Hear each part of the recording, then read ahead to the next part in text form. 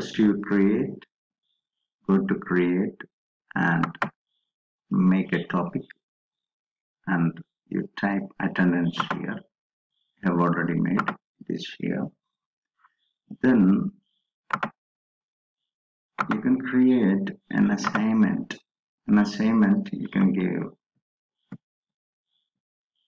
So give a title attendance of uh, your class and instructions is optional then you can add file from google drive. If you have an already saved file in google drive you can add it. And file you can add excel sheet. So this way is to create a google form. So after creating google form it will direct you to the google form. So you can give a title whatever you want attendance on date. Then you can ask uh, fill out here and fill uh, basic information you can collect like a class number and your name. Then you can ask some question that you want. Have you watched my video tutorial? Did you complete reading resources shared with you? Like that. And make it required. This here uh, all questions compulsory questions make it required then you can change settings here. Uh, collect email address if you want. And no need to change this one. Okay. Then make it save. So we have made an attendance, attendance google form. You can see here it has been saved in google drive. Automatically saved when you close it. Then come to your google classroom. You will see an attendance sheet here. So you can you can edit it further. Put unmarked here. You don't need any mark and give due date. So assign a topic.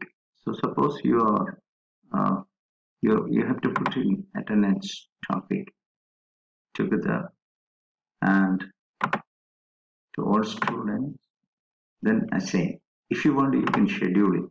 Schedule next day. And due date also you can due date this is I have made it to today for and evening till evening they can attend and give it an edge then after that assign it. Now you can see the topic attendance and sheet you can see in your account here.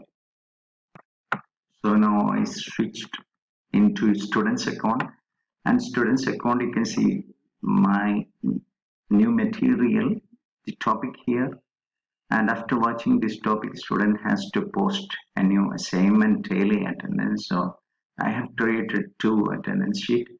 And I, here on clicking this one you get attendance sheet here.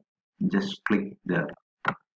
On clicking students get this sheet and they can fill it up. Now I have filled everything here. Then submit it. Attendance response has been submitted and assignment has marked as.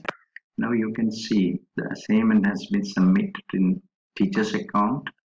And finally you can get consolidated attendance sheet from Google Drive.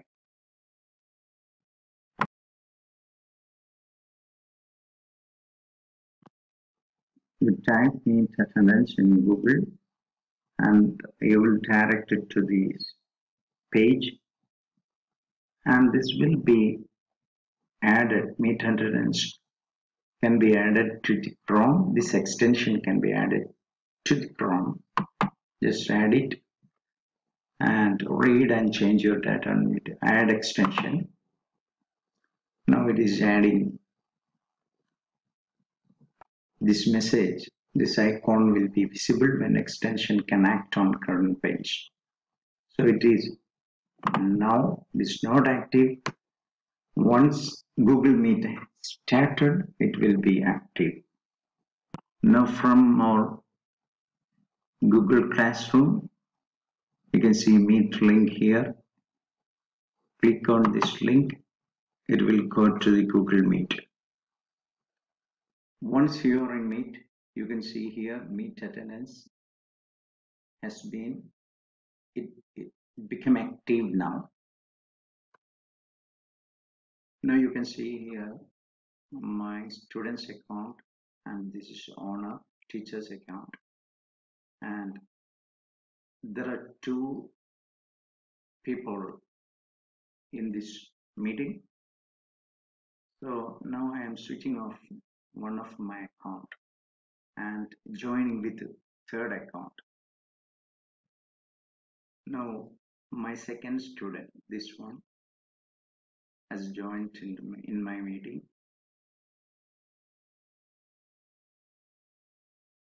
Now you can see each time who was present. At this time who was present second time uh, my teacher account and student account was present. And third time my second student account was present.